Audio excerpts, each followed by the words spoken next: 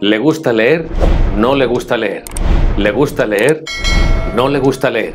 A esta chica le gusta leer, pero a este chico no. Le gusta leer y no le gusta leer. ¿Que cómo sé todo esto? Pues bien, sencillamente, a través de la maravillosa morfopsicología.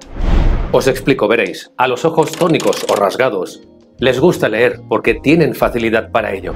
Todo lo contrario al ojo átono o caído, que se cansa de leer o estudiar durante mucho tiempo. Y todo lo que cansa no gusta. Bien, yo los tengo en la línea del horizonte, ni tónicos ni átonos. ¿Y tú cómo los tienes? Te leo en los comentarios. Bendiciones para todos y para todas.